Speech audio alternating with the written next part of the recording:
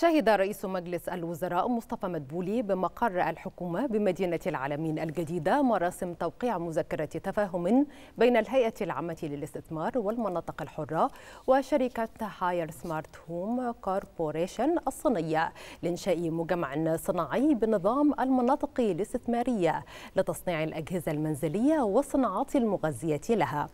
وذلك على مساحة 200 ألف متر مربع بمدينة العاشر من رمضان. ويبلغ إجمالي الاستثمارات الجديدة نحو 130 مليون دولار. وتنص مذكرة التفاهم مع الشركة الصينية على تقديم الدعم اللازم لإنشاء المشروع بنظام المناطق الاستثمارية واتخاذ كافة الإجراءات اللازمة مع الجهات المعنية لإتمام المشروع وإقامته وفقا للجدول الزمني للتنفيذ.